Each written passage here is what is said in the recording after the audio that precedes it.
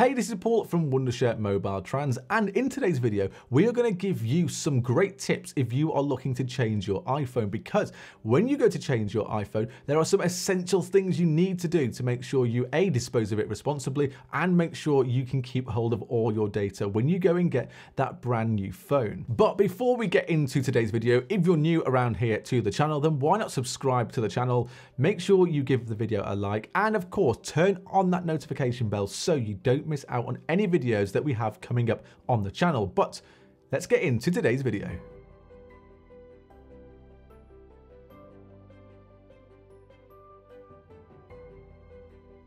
Okay, let's talk about the most important thing when you get a new phone, and that is backing up the data on your current phone because you don't want to lose any contacts, videos, pictures, or messages at all. So there are a couple of ways that you can do this, and Apple gives you the option to use iCloud, and Apple also gives you the option to use your Finder on a Mac or iTunes on a PC. And I'm one of those people who've lost all their data before when getting new phones. So let me show you how you can do it so you don't lose any of your data. And first of all, let's start by showing you how to do this on iCloud. To back up your iPhone or iPad on iCloud, the first thing that you need to do is go to connect your device to a Wi-Fi network and then head to the settings app and tap on your name at the top. This will take you to a new window where you can tap on the iCloud option and then you need to locate and access the iCloud backup feature. To start the iCloud backup process, tap backup now on your iOS device and all of that data will start to be backed up to iCloud. And that works really well if you have enough storage in your iCloud. But what if you don't have that storage and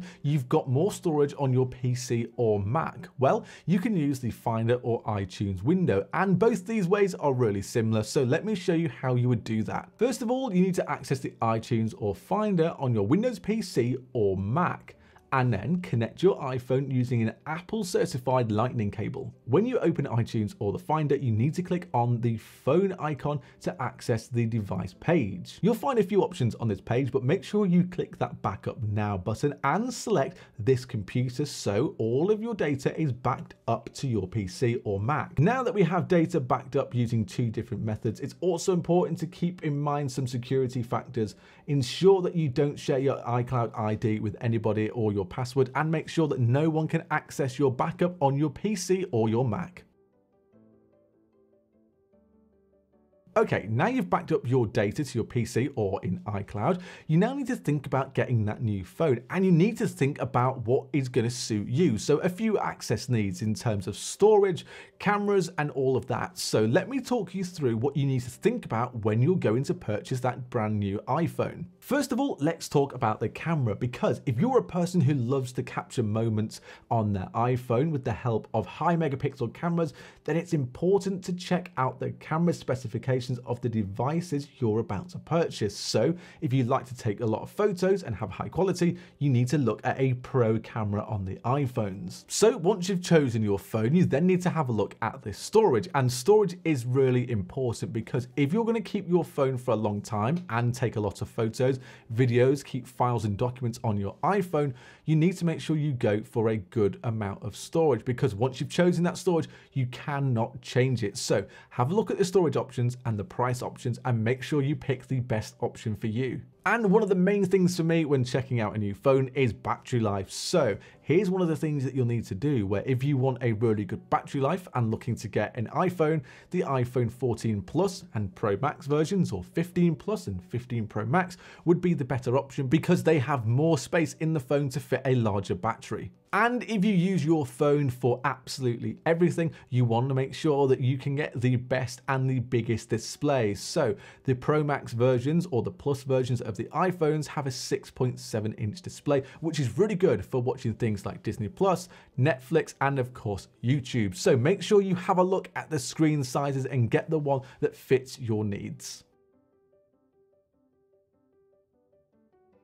Picking the right iPhone model is the next most important step and I mentioned before that you have a regular phone, a plus size phone, a Pro phone and a Pro Max and they all come with their own very specific requirements that you might need. So for example, if you like iPhones but don't use your phone a lot, then you might want to look at having a regular iPhone when it comes out. Or if you use your phone a lot and going to use it for everything, then maybe a Pro Max version is the one for you. But here's the difference. There are sometimes some design differences between the phones. For example, the Pro phones will have three cameras, whereas the regular iPhones will only have two. And that means on the back, we see different designs from both of those iPhones. And at the moment on the Pro phones, there is Dynamic Island, whereas the regular phones only have the regular notch that we've seen for a few years. Also, with different iPhone models comes different features, which you will not get on the regular iPhones, which you will get on the Pro versions. On the Pro version, you get a three times zoom camera, where on the regular version, you don't even get a zoom camera, you just get an ultra wide. So if you like to take photos, you need to make sure you pick the right device. And as well as that, you get camera features on the Pro phones, which you don't get on the regular phones. So for example, you can record cinematic mode in 4K, and what you can do is record ProRes video, which is very professional, high quality video on the Pro phones, and you don't get that on the regular iPhone iPhone. So picking the right iPhone model is really important. So make sure you go and do a good amount of research.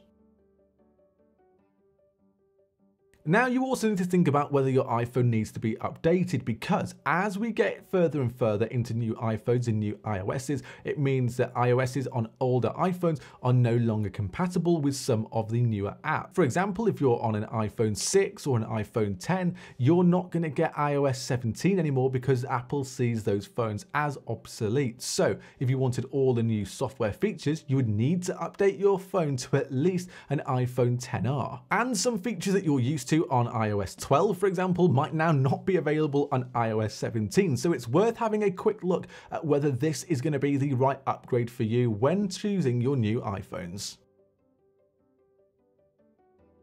Okay, now you've got your new iPhone, you'll need to back up the data from your old version over to your new version. And we're given a couple of ways to do this, so I'm gonna run you through a few ways that you can do this on your iPhone. So follow the next couple of steps and we'll help you get that data transferred straight over to your new device. Let's start by unboxing that new iPhone and then turning it on. And what you'll need to do is you'll need to go to the restore from iCloud option here and enter your Apple ID and your password. And if you've uploaded to iCloud from your last phone, you can see your backups on a page like this. And all you need to do is select that backup from that screen and it will be nice and easy and it will allow you very easily to move all of your data from your old phone to your new iOS device. That is probably one of the easiest and quickest ways to do it because you can leave your phone alone, come back half an hour later and it's all ready and set up. But there is also another way you can transfer your data if you still have your old device.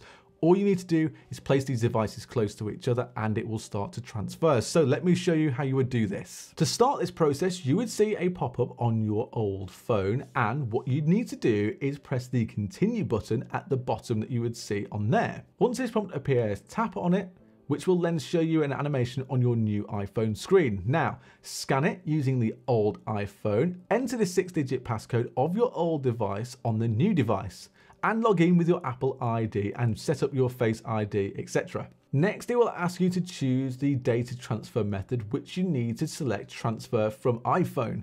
This will start the process of transferring data between two devices. Make sure you keep both devices close to each other during this process, otherwise you might have some issues with that transfer.